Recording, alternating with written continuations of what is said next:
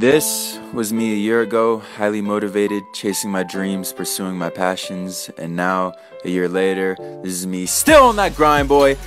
you thought this was? You thought I was gonna give up? Nah, the day that I die is the day that I stop chasing my dreams.